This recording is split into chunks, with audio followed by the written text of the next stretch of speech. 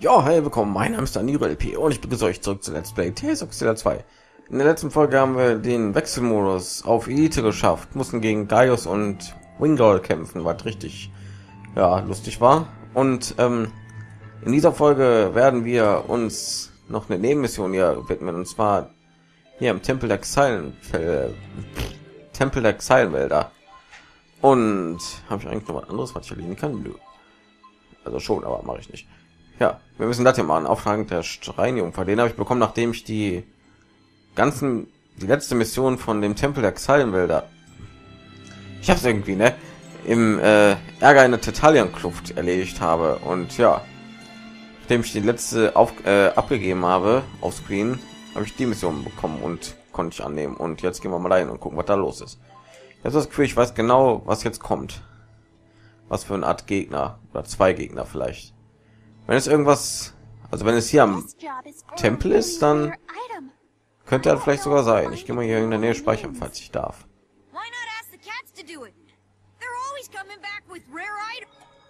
Wir müssen auf jeden Fall kämpfen und anscheinend müssen wir auch da reingehen. Also habe ich schon eine starke Vermutung, was wir machen müssen und gegen was wir kämpfen müssen. Aber ich könnte mich auch irren. Weiß ich nicht. Ich habe jedenfalls hier Kampfstellung bezogen. Und guck mal, ich habe noch ein Gericht irgendwie hat meine ganzen Werte um 25 Prozent erhöht. Also ja. Jemand das da drinnen, ne? Da die beiden, genau die beiden. Wo ist der Ring im Hintergrund? Wer sind die beiden? Es sind die Schreinjungfern, Tess und Patel. Maxwell, ich wusste, ihr würdet kommen. Willkommen beim Schrein der Ewigkeit. Und wo ist die Bedrohung, um die wir uns kümmern sollen? Habt ihr nicht gesagt, ihr werdet vom großen Geist der Ewigkeit angegriffen? Und du musst der Nachkomme von Kresnik sein. Wieso denkst du, du hättest eine Chance gegen Kronos, den Herrscher über Raum und Zeit? Hä? Versteht ihr denn nicht? Wenn der Prozess der Seelenreinigung unterbrochen wird, werden alle in die Unterwelt hinabstürzen. Eine dunkle, verdorbene Welt, aus der niemand fliehen könnte. Nein, Woher wisst ihr das alles? Nun, vielleicht sollten wir es euch erklären. Wir sind der große Geist der Ewigkeit. Unmöglich. Maxwell hat euch vor langer Zeit versiegelt. Möglich. Und plausibel. Aber wir hätten die Siegel jederzeit brechen können. Keine Macht kann uns bezwingen. Wir haben eine Zeit lang bei dem Spielchen mitgespielt, solange es uns amüsiert hat. Aber jetzt reicht es. Ihr Gesindel sieht nicht gerade nach aus, als wärt ihr zu vielen zu gebrauchen, muss ich zugeben. Ihr seid die perfekte Übung für unseren bevorstehenden Kampf gegen Kronos. Das stimmt. Nun, zwei Geister im Gedanke. Ein Gedanke. Pass auf, die beiden sind keine gewöhnlichen Gegner. Das stimmt, der große Geist der Ewigkeit und der Herr der Unterwelt. Ich bin Pluto. Okay. Sieht aus wie Odin. Oh Gott die Viecher. Genau die Viecher habe ich mir gedacht, kommen wir. Azurdiener und Popodiener. Und der hier, aber der ist nicht so stark anscheinend. Nee.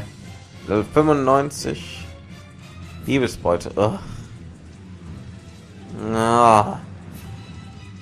Na. Verdammt.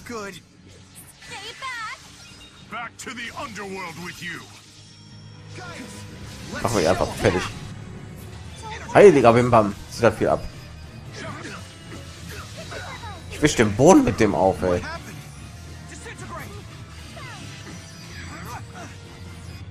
Geh weg, was willst du denn? Ey? Ja, was? Okay, das konnte jetzt vielleicht nervig sein.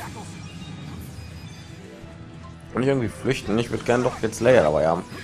Die Wahrscheinlichkeit, dass ich von dem mal klauen kann, diesen ganzen Gewusel, ist doch ein bisschen sehr ja, knapp. Ja, konzentrieren wir uns doch auf den.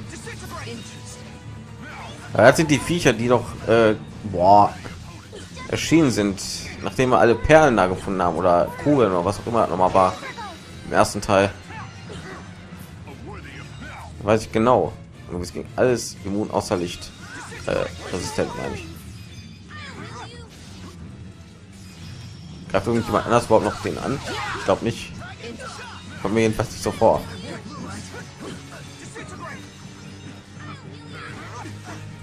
Jetzt brauche ich eigentlich nur noch Schusswaffen, die irgendwie den gleichen Effekt haben wie meine mein Hammer und meine Schwerter, ne? So, jetzt reicht's.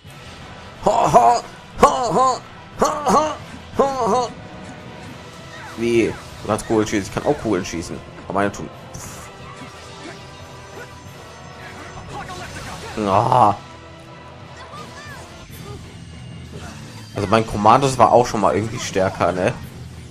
Das ist jetzt irgendwie nicht mehr so überpowered, wie es mal war. Hier war das, hier war. Nein, ich da.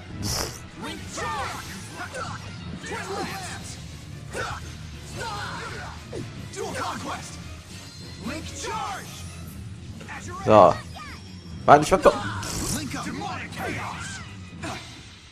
So, ich habe R2 gedrückt, Mann. Ich okay, ich habe zu Jude gewechselt, aber egal. Äh, dann mache ich ihm das hier. Sieht auch viel ab. Trotzdem kein Problem, der Typ. Au. Wie kannst du das wagen? Ach ja, das ist Dunkelheit. Das tut nichts. Irgendein Lichtangriff, ich weiß es gar nicht. Warte mal, das hier ist Licht, glaube ich. Nee. Der Mondlichtangriff wäre Licht. Anscheinend nicht. Also das Gefühl, ich bin der Einzige, der auf den losgeht. Kann das sein?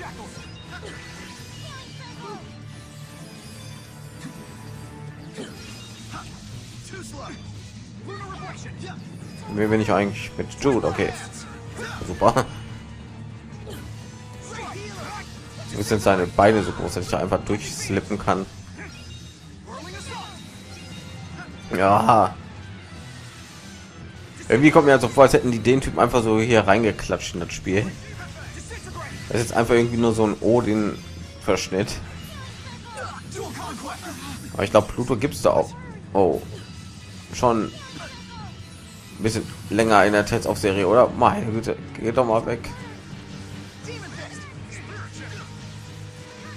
Mann, was zum Teufel? Oh, Hilfe. Alter, was ist denn hier los? Was ist da mit Jude? Ist er irgendwie gefangen?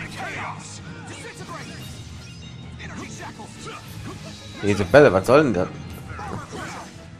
Wir sind so weg, Gott sei Dank. Ah, ja, ja. You kidding me? This hurts like crap. Oh nein, die Bälle. Geht weg. So kann ich nicht taumeln, wenn ich am Boden stehe. Dürfte Jude eigentlich auch nicht. Er hatte auch die Fähigkeit, oder? Hatte ihn nicht. Hier raus. Was ist das denn? Hilfe! Ah! Was war das? Was hat mich am Boden verfolgt? Ich bin mit jemandem verbunden. Ah.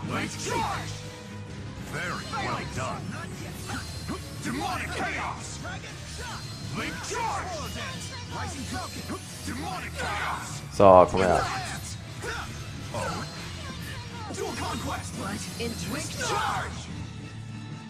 Mann, das gibt's doch nicht.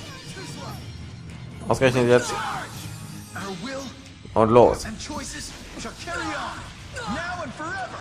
Boah, das zieht da viel ab. Er hat viel abgezogen. Oh, sehr gut. Ah, dunkles Siegel. Sehr schön.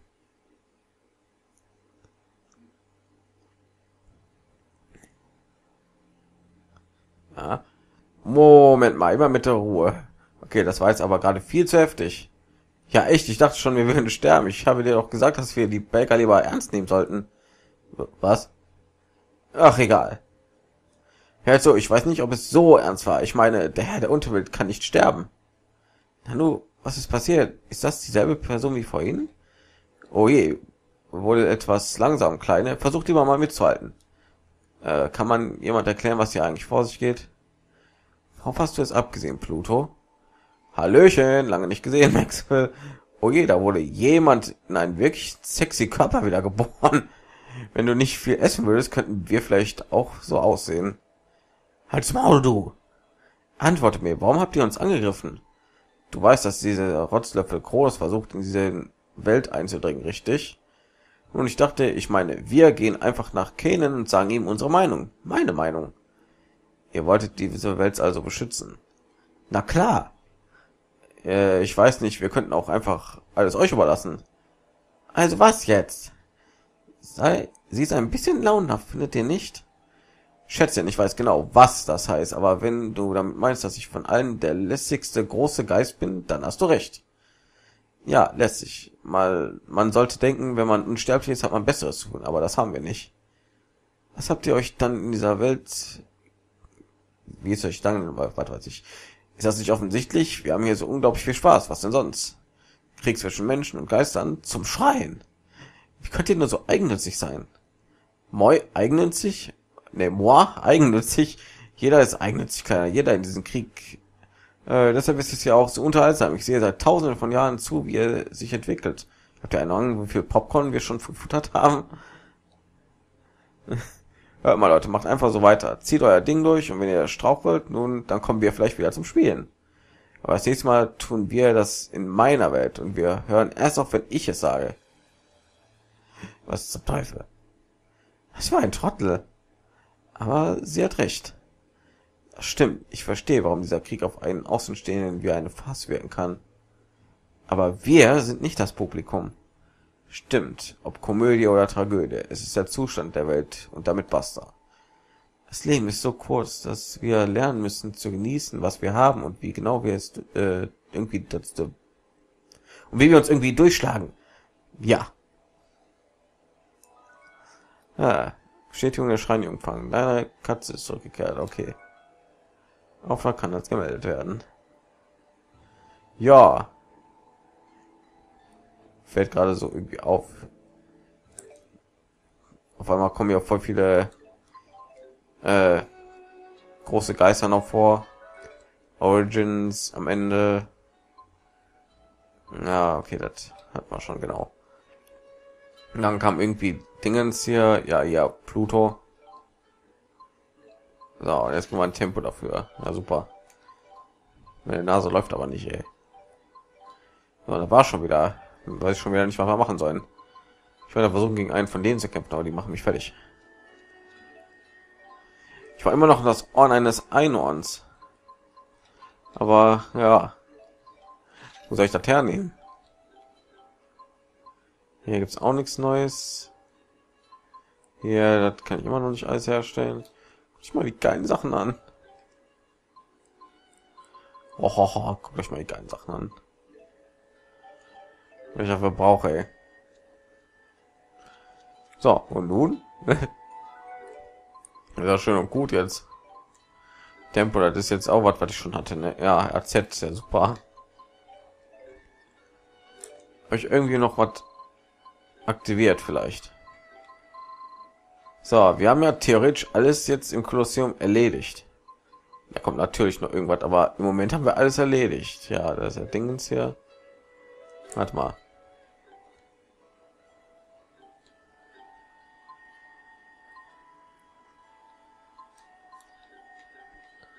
Ja, da ist drin. Okay, wollte schon sagen. Ist ja noch irgendein Ort oder so. Ja, dann weiß ich nicht. Haben wir eigentlich alles erledigt erstmal. Verdammt, das heißt, ich muss im Kolosseum aufscreen hier alles kaputt hauen. Wir gehen jetzt noch mal in die Felgarmine und gucken, ob jetzt irgendwie was hergestellt werden kann. Ich glaube es immer noch nicht, aber mal sehen. Also wir haben jetzt alle verfügbaren Modi schon mal geschafft. Also komm schon. Gib dir mal einen Ruck, Alter. Das wäre richtig nice. Ja, war schwierig hier gegen Gaius und Wingold mit jedem Charakter zu äh, bekämpfen. Vielleicht indem ich Ludger auf jeden Fall immer mitnehme, aber wird das noch länger dauern. Was wollt ihr eigentlich jetzt? Ach ja, Kampfmusik übrigens. Hab ich auch gemerkt. Die ganzen Kostüme, die ich von den anderen Charakteren bekommen habe, ähm, ändern auch die Kampfmusik. Das fand ich ja richtig geil. Bei kann ich auch mal zeigen. Ähm, nehmen wir mal hier das Outfit. Und bam, ist wieder andere Kampfmusik.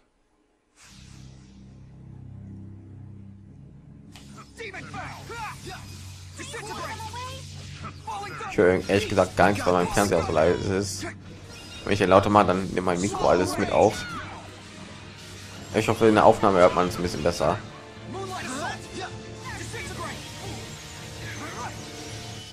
Glaube, das ist ein Kampflied, wenn man gegen Muse kämpft. Was ja passen würde, weil das hat Kostüm von Muse. So, warte mal noch. Äh, Elvins Outfit. Gehen wir mal alle durch, um so schnell Schnelllauf zu machen. Ah.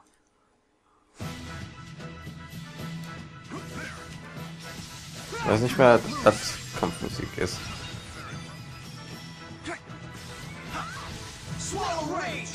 Nee. Wie gesagt, ich höre es auch nicht, weil es ein bisschen leise ist gerade. Weil wegen Mikro und so was alles. Ich gerade erklärt. Na, aber noch irgendwas? Ich glaube nicht, ne? Wie das Farben doch.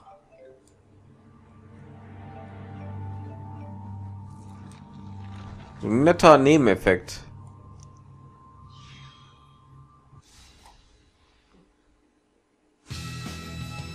Ja, das zum Beispiel das Kampfthema. Das war zweite oder dritte Kampfthema von Mila.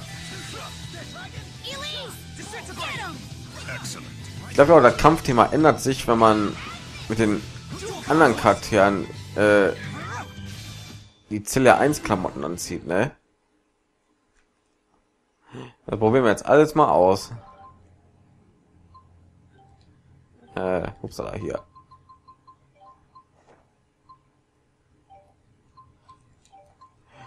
So wird nicht richtig geil. Man sollte jedes Spiel irgendwie machen, ganz ehrlich. Wenn man nicht immer die gleiche Kampfmusik hört. Also mal eine nette Abwechslung, hallo.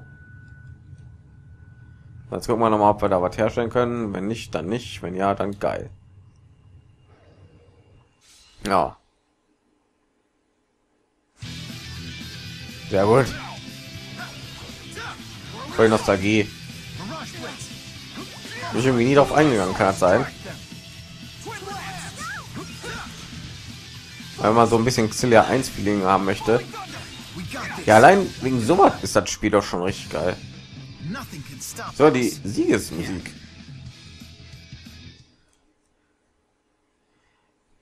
Solche Sachen muss man doch auch beachten, ey. Ist auch viel Service, was hier drin ist. Hier gucke ich das mal an. so hat Profilbild hier hat sich geändert. Warte mal. Nee, da nicht. Okay. Ja, okay, macht Sinn. Aber allein so ist doch schon auch hier gut. Sollte irgendwie so beachtet werden, wenn man ein Spiel bewertet. Hey, das ist ein Shop.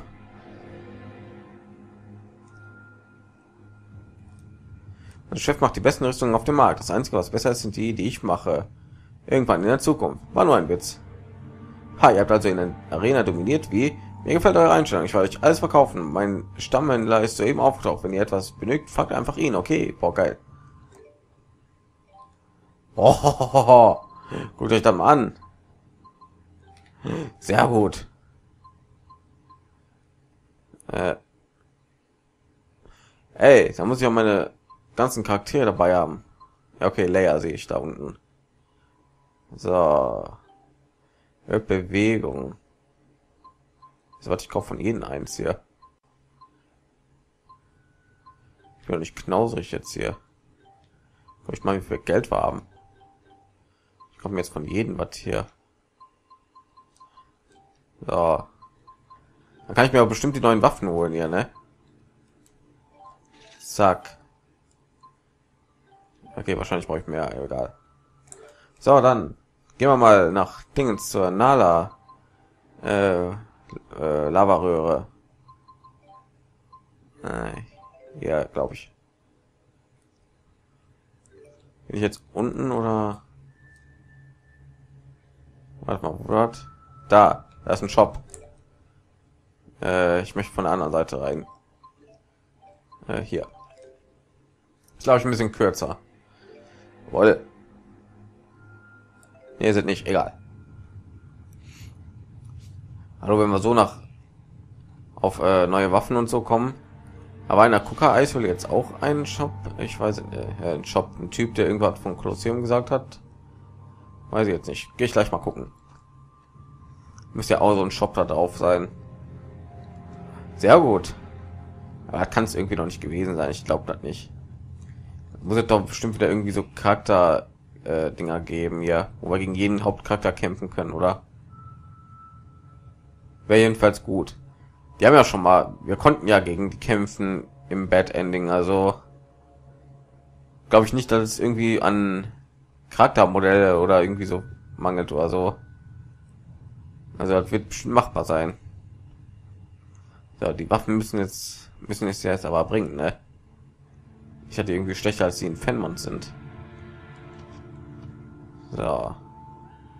Ich möchte aber richtig geile Sachen sehen. Wenn man es dann nicht gleich alles nur ausrüsten natürlich. So. Ja, ihr habt das. Ja, da, da. was seid ihr jetzt? Na, ich werde euch an alles verkaufen. Ich denke, ihr habt das Zeug dazu. Ich mache meine Waffen zu entfesseln. Boah. Wow, was zum Astropos, der Schicksalstöter. Dann schwächer als. Ach ja, okay, wir haben ja diese Einwaffen. Lachesis, Schicksalsbreiter. What? Wie? Was zum? Okay, das nehme ich. Und ich kaufe da trotzdem, hallo. Und das hier, kaiserliche Handschuhe, ja. Die werden auf jeden Fall sehr gut im Kolosseum ihren Nutzen finden und im Dingens im Bonus Dungeon. Das mal an, da ist doch unnormal. Nee, das möchte ich alles live so sehen. Da guck mal noch meine Kuka Eishöhle. Gab es da einen Shop? Ich weiß es nicht. Äh, ein Typ im Kolosseum irgendwie. Der hat mit dem Kolosseum zu tun haben wollte oder so, weiß ich nicht. Scheint nicht, ich sehe keinen Shop. Na gut, dann gehen wir mal nach, was weiß ich. Triglyph. Wie immer. Kennt man ja. Und rüsten uns erstmal neu aus. Boah, geil. Äh, dann hier kaiserliche Handschuhe. Guckt euch mal die Werte an. KP kriegen wir dazu. Weg die Chance Gegner zu betäuben. Die Sachen in Fenmon waren schon überpowered. Guckt euch das mal an. 1500, 1200. Und dann noch P-Verteidigung, also was ja okay bei Jules glaube ich Standard, dass die Dinger die P-Verteidigung erhöhen. So, Kurikara, Treffer, stellt für jeden Gegner, den du besiegt, KP oder ja. Sehr gut.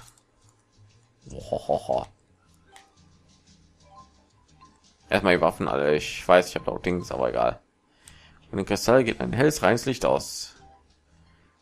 Meine Güte, die Effekte erhöht Intelligenz, verkürzt die, verkürzt die Wirkzeit in regelmäßigen Abständen TP wieder her. Hey, das ist ja unnormal.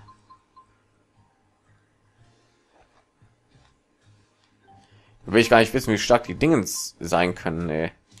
Eisenlohn, das unsterbliche Attribute, greift mit allen Elementen an.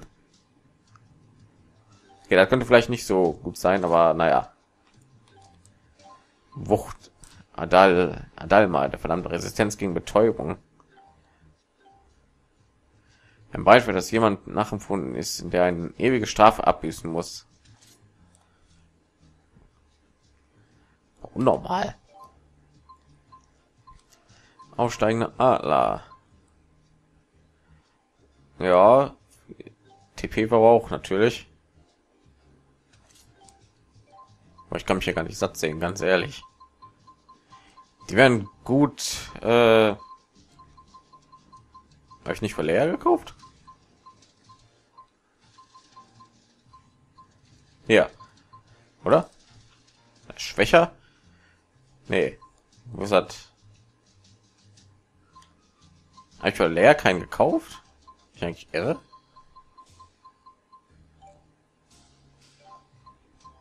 Hanuman Stab. Habe ich echt nicht für leer gekauft? Bin ich eigentlich irre?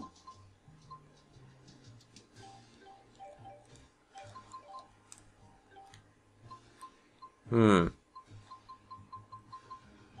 Verdammt. Muss ich mit Leia noch mal kaufen, verdammt. Äh. Friedenszahnadel. Das habe ich gekauft, genau. Habe ich echt nicht für Leia gekauft? Bin ich eigentlich bescheuert? Nö, anscheinend nicht. War. Jetzt hier die ganzen Dinger. Jesus.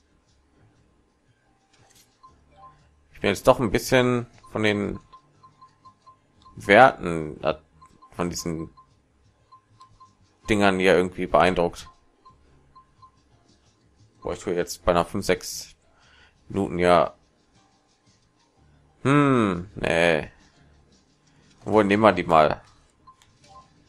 Vielleicht sind die ja irgendwie besser auf Dauer.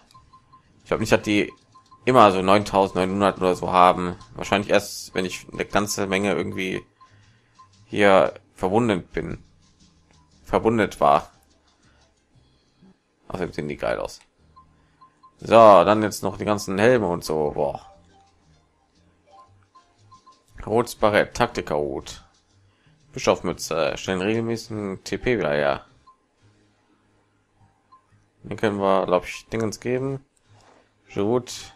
Den anderen bekommt Rowan. Wo es bestimmt nicht auf diesen Afro passt. Zaubererhut, Taktikerhut. Ja, das wird irgendwie mehr passen, so, ne? So, ungewöhnliches Krönchen, unschuldiges Krönchen.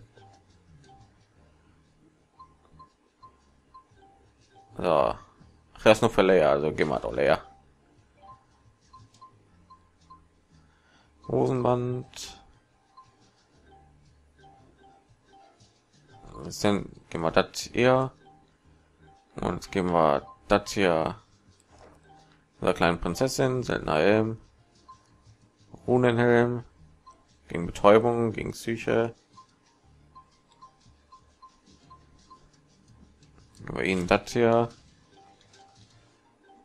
Und Elvin werde ich wahrscheinlich noch mal hier gehen müssen und kaufen, wahrscheinlich, aber egal. Glitzerschleier, ach, der ist nur für Mila. Okay.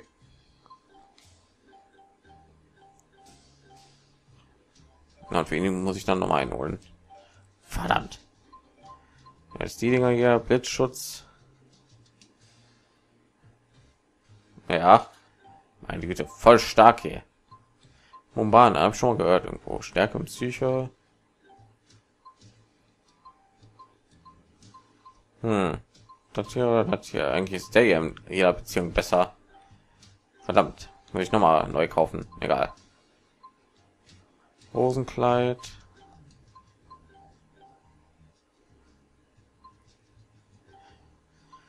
Nee, warum mache ich das als Onscreen, ey? Hm, gehen wir hier das. Hier, sie bekommt das hier. Für Resistenzen, die an alle haben. Taktikermantel, ja. Mal jetzt ein bisschen schneller. So.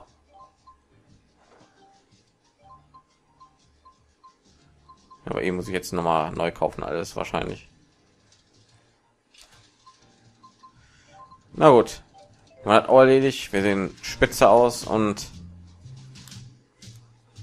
werde machen, ob ich jetzt für Leia wirklich verpasst habe oder ob man wirklich keinen kaufen konnte. So, dann würde ich sagen, wir haben jetzt gute Chancen, glaube ich, die Elite-Monster zu erledigen. Also ich auf Screen und vielleicht kriegen wir jetzt sogar was gebacken im Bonus-Dungeon. Ich würde sagen, wir sind vorbei. Das sind jetzt 30 Minuten, das ist verdammt lang. Deswegen sage ich jetzt einfach mal, ich beende den Party und sage, wir sehen uns in der nächsten Folge von Let's Play Tales of 2. Ich bedanke mich alle herzlich fürs Zuschauen und sage Tschüss, bis zur nächsten Folge.